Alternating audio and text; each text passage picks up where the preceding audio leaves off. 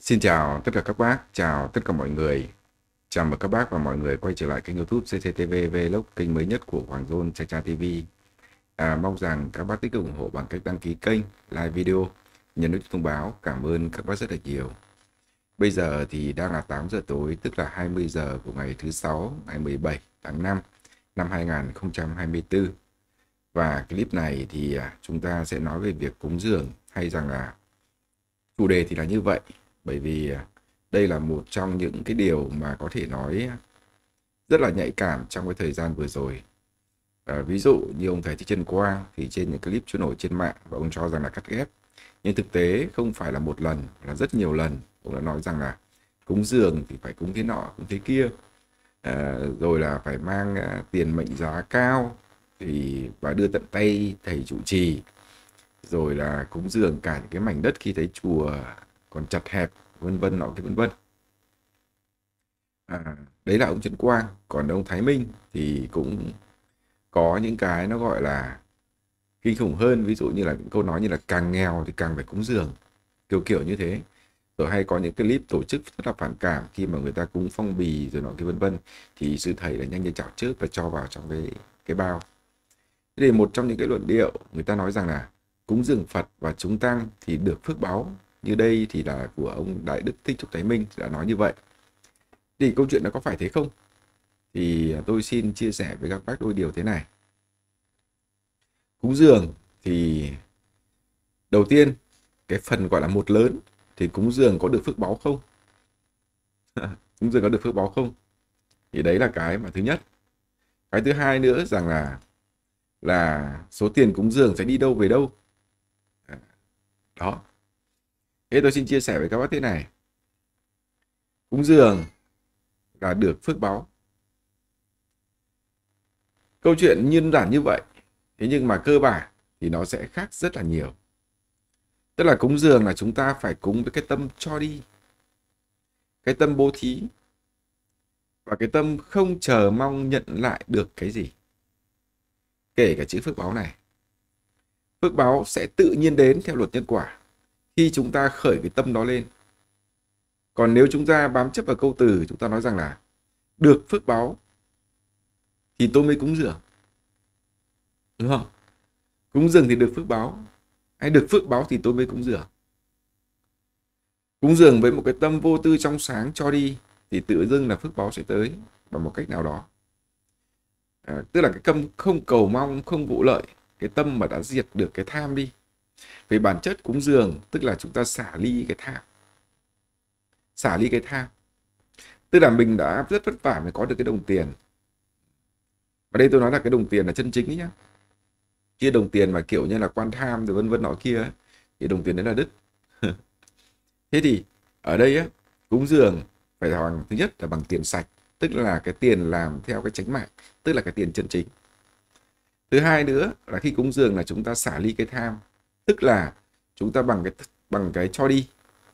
Bằng cái tâm cho đi, cái tâm không cầu mong được cái gì cả, kể cả phước báo. Thì tự dưng, nghịch lý rằng là nghịch lý là chúng ta không cầu mong, nhưng nó lại tự dưng nó đến. Thì đấy là cái quy luật người ta đưa ra, nhưng mà nhiều sư thầy không giảng giải kỹ cái điều này. Mà lại giảng giải theo cái kiểu rằng là, mày muốn được phước báo chứ gì? Phải đi cúng dường đi. Kiểu như thế. Bởi vì giảng giải như thế nó lại sai về về cái bản chất tức là muốn được phước báo thì ông phải đi cúng dường. Tức là lúc này nó thay vì cái tâm cho đi, cái tâm xả ly tham, cái tâm không chờ mong cái gì, thì nó lại thành ra cái tâm chờ mong cái gì đó. Chờ mong mà cái gì đó ở đây chính là cái phước báo. Như vậy thì bản chất của nó là mua bán, đổi trác. Chứ không phải là cái tâm cho đi một cách hoàn toàn vô tư lự nữa. Thế cho nên nó khác nhau rất lớn một cái sẽ tạo một cái một cái tâm cho đi không vụ lợi thì nó sẽ tạo ra chúng ta một cái phước báo. Một cách vô tình, vô hình. Còn cái tâm kia là cái tâm mua bán đổi trác thì nó sẽ cho chúng ta thậm chí là nghiệp quả nặng. Bởi vì là lợi dụng Phật giáo, lợi dụng nhân quả để làm cái điều đó. Chứ không phải là cái gì cao đẹp, tốt gì cho cao. Giống như biểu là, tôi bỏ cho ông cái đồng này, từng này tiền thì tôi sẽ lấy lại cái này ví dụ bỏ bây giờ bỏ ra 90 hơn 90 triệu thì ta sẽ được một cây vàng. Kiểu kiểu thế. Tức là nó là mua bán. Vậy thì mua bán thì việc thì chúng ta phải đến đó. Chúng ta đi đầu tư buôn bán thì chúng ta có cái lời hơn chứ. Đúng không ạ? Cho nên ấy, phải hiểu rất rõ về cái việc cúng dường là như vậy. Cái thứ hai nữa rằng là cúng dường thì như thế nào? À, rất nhiều ông thầy nói rằng là hãy chuyển khoản. À, chuyển khoản vào cá nhân của thầy.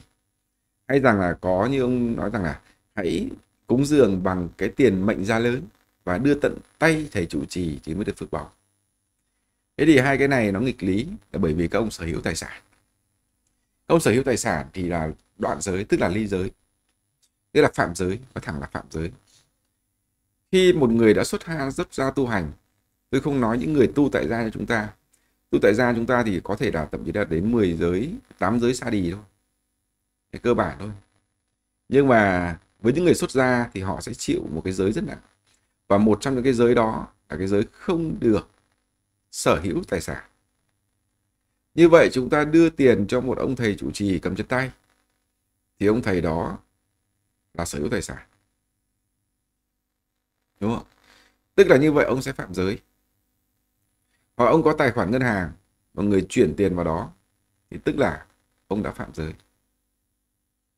Tức là ông sở hữu tài sản nhưng nếu như mà ông mang cái tiền đó về, ông cúng lại cho chùa, bởi vì cái tài sản đó là thuộc sở hữu chung, tức là của tăng đoàn, chứ không phải của cá nhân ai cả.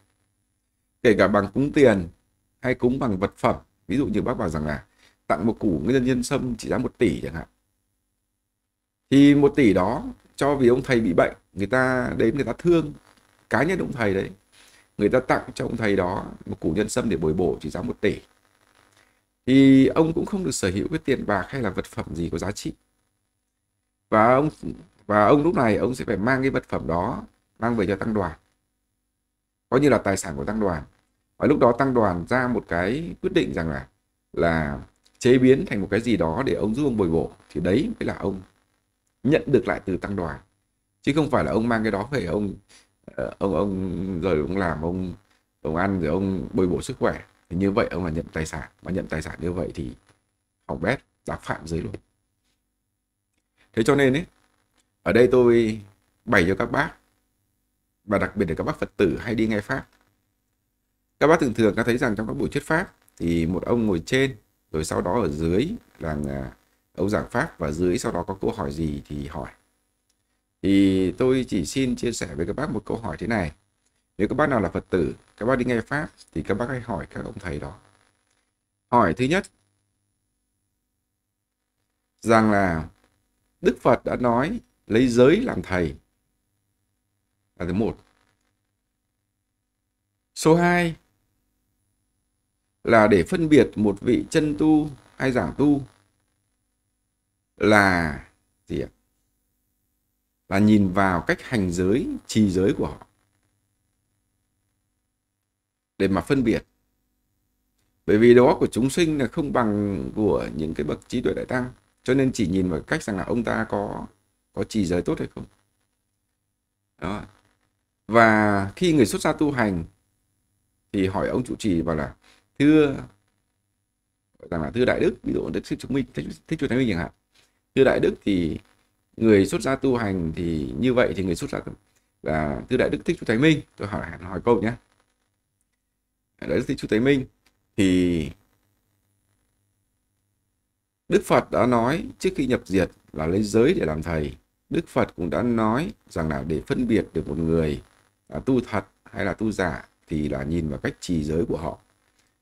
Vậy thì Đại Đức hãy cho biết khi một người xuất gia, khi một người vào chùa xuất gia thì họ phải chịu những giới nào? Và khi một người đến tận như là Đại Đức trụ trì, thì người ta phải chịu những giới luật nào? Trong các giới luật đó, thì có cái giới luật, thì con nhớ rằng có giới luật là không sở hữu tài sản. Vậy thì Đại Đức cho bọn con biết là Đại Đức có sở hữu tài sản hay không. Đây là thứ nhất. Nếu Đại Đức mà bị gọi rằng là bị ra khỏi giáo hội, tức là bị đưa về làm thường dân á, hoàn tục á, thì Đại Đức có nhận tài sản hay không? trong cái quá thời gian hình thành ở tù hay là à, ở, ở chùa ở trên nhầm ở chùa còn nói ở tù kinh quá thì đã được có những có mang số tài sản về hay không đó bởi vì con biết là ngay cả khi mà một vị gọi tỳ kheo và kể cả khi họ chết đi thì ngay cả y và bát của họ cũng thuộc về tăng đoàn chứ không có được thừa kế bởi bất cứ ai. À, thừa kế bất cứ ai. Vậy thì hỏi một cái câu như thế. Và khi mà một vị thì kheo hay một vị sư mà sở hữu tài sản hoặc là tiêu pha tài sản vân vân và như vậy thì có bị à, cho hoàn tục hay không? Xử lý thế nào? Để xem các vị này là có sở hữu tài sản không? Đó. Và cuối cùng hỏi một câu rằng là, đại đức có dám thề trước phật tổ như lai, trước đại chúng rằng đại đức không có sở hữu bất cứ tài sản nào ngoài ba y một bát như một vị tỳ kheo?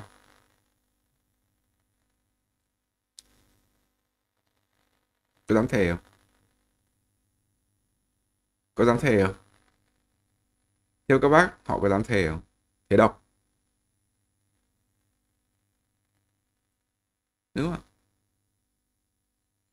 nhiều khi công có nhân danh, bảo là công bảo rằng là đấy cho chùa, nhưng rồi công bỏ túi riêng.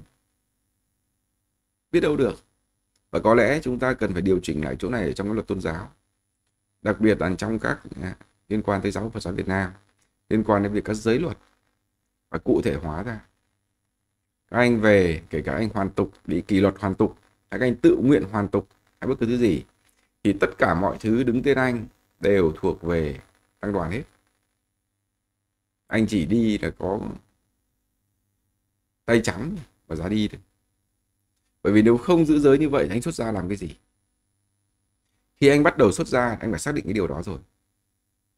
Khi anh mà bắt đầu rằng có cái hạnh nguyện xuất gia, anh cạo đầu và thọ giới, thì tức là anh phải chấp nhận điều đó rồi giới của đức luật à, giới của đức phật vô cùng đơn giản, cụ thể, dễ hiểu, nhưng mà rất khó thực hiện. Bởi vì chính vì thế nó rất khó thực hiện. Và giới luật đó là tuyệt đối, không có tương đối gì đây cả. Tuyệt đối. Anh mà sở hữu xin thưa kể cả rằng là chỉ có ba y một bát. Ừ. Anh mà sở hữu cái đồng hồ thậm chí đôi giày nó là khác nhau. Và cái kính của ông này cũng là cái khác. Nếu mà theo đúng cái luật thì kính của ông là thuộc về tăng đoàn. Tăng đoàn chẳng qua là thì ông bị cận gieo cho ông. Chỉ không phải ông thích mua thì mua.